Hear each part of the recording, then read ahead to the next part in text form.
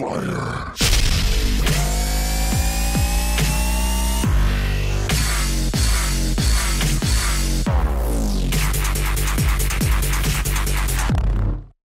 Hey, what's up guys? Flotown Hockey here, and today I'm going to show you guys how to conjure a werebear.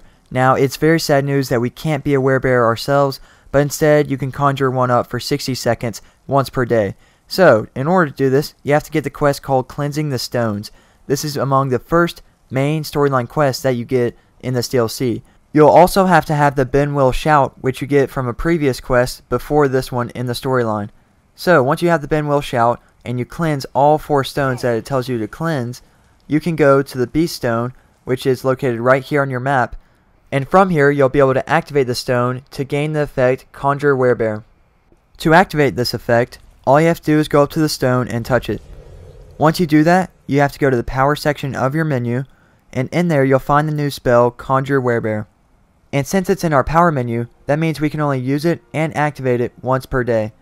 So if you happen to use it once, that means you have to go back to the Beast Stone after 24 hours has passed, activate it, and then you'll regain its ability and effect.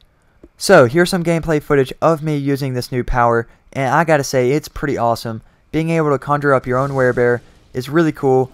It's a shame that we can't actually become a werebear. At least no one's figured it out just yet. Hopefully they'll have an update to fix this, but in the meantime this will just have to do. But as for the gameplay of the werebear, it's not as strong as a werewolf, but he's definitely smarter than one. And that is proven by this image right here. And as you can tell, he always goes for the strongest member of their team first. Boom, right there, baby netch down.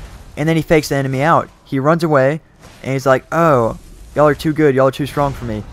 But then that is a fake out right there. He comes back, back to the battle. And he's like, oh, werebear, smash, brah. And that's where the werebear just put the team on his back. He was like, you know what? I do this for Skyrim. And he's like, boom, boom. And then he dies. It's unfortunate, but it happens. It's not as strong as a werewolf, but again, it's hilarious. It's fun to use, and it's a good sacrifice if you need to use that in a fight.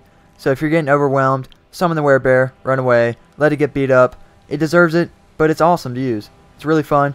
Hope you guys enjoyed this video. Don't forget to rate, comment, and subscribe. Thanks for watching, and I'll see you guys next time.